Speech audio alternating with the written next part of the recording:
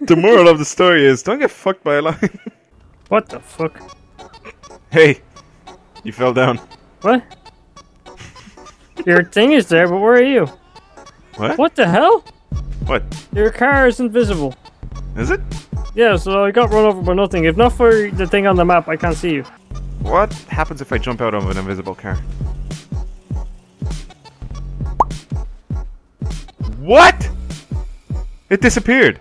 Where are you? Here. It's gone.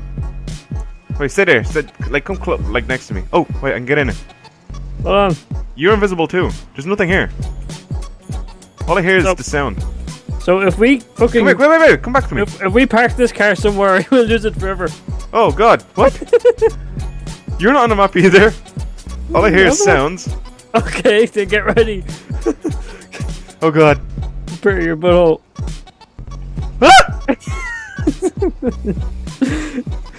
Headset for the win. Where are you? Wait, I just pressed triangle. Oh, there we go. So, Hey, how's it going? oh, you disappeared. Nope, I'm in here. Well, Well- I'm out here. You disappeared. Oh, there we go. Oh, I started punching. There's nobody driving. You're invisible in the car, but the car appeared. The car just randomly appeared. Yeah. Now I know what car it is. Bridge! Holy fucking shit! oh shit! Uh, Jesus. Jesus had nothing to do with it. Oh my god! No. No. Oh god. He keeps hitting me in the head! Stop! Terry, Terry, no, bad.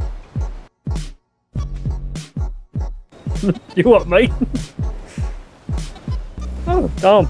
Ah!